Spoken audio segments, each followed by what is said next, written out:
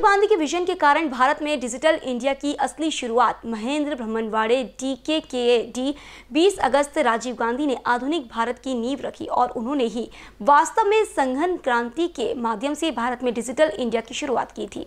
दरसा में पढ़ने वाले छात्रों को भारत के पिछहत्तरवें स्वतंत्रता दिवस और भारत कैसे आगे बढ़ रहा है के बारे में बताया गया।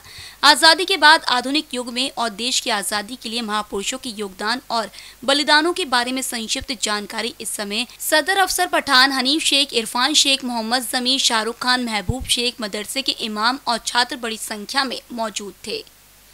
अहिरी से बीसीएन न्यूज़ के लिए आसिफ पठान की रिपोर्ट। स्कूल के छात्रों को देशभक्ति गीत प्रस्तुत किए। इससे शहर में खासा माहौल बना हुआ था। लोनार से बीसीएन न्यूज़ के लिए शेख जम्मत की रिपोर्ट। कृषि मंत्री ने नागपुर ग्रामीण के